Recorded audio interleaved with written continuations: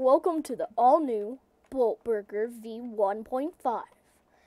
As you can tell, things look a tiny bit different. Not the big V2 that's coming up later this month, hopefully. Here are some changes that we went through.